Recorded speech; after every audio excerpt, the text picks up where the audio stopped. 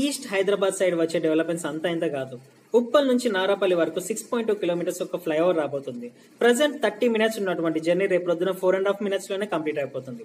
పోచారంలో already IT sector established అయి ఉంది and ఇప్పుడు ఎక్స్టెండ్ అవుతుంది. గట్కేసర్ ఔటర్ రింగ్ రోడ్ దగ్గర చుట్టూ శాటిలైట్ టౌన్షిప్స్ రాబోతున్నాయి.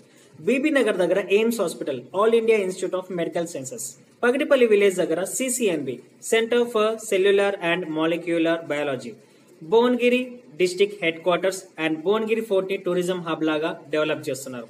రాయగిరి ఇంకా యాదగిరి కూడా తీసుకుంటే కనుక ఉమ్మడి రాష్ట్రంలో తిరుపతి ఇంటర్నేషనల్ లెవెల్లో గుర్తింపు ఉన్నటువంటి టెంపుల్ ఉండేది. ఇప్పుడు తెలంగాణ సపరేట్ అయిపోయిన తర్వాత తిరుపతి లాగానే ఇప్పుడు యాదగిరి గుట్టను కూడా ఇంటర్నేషనల్ లెవెల్లో గుర్తింపున్నటువంటి టెంపుల్గా డెవలప్ చేస్తున్నారు. And industrial corridors. యాదగిరిగుట్ట సరౌండింగ్లో కూడా చాలా ఇండస్ట్రియల్ కారిడార్స్ రాబోతున్నాయి. సో ఈ డెవలప్మెంట్స్ వల్ల అక్కడ సరౌండింగ్స్లో ఉన్నటువంటి ల్యాండ్స్ చాలా హైక్ కాబోతున్నాయి.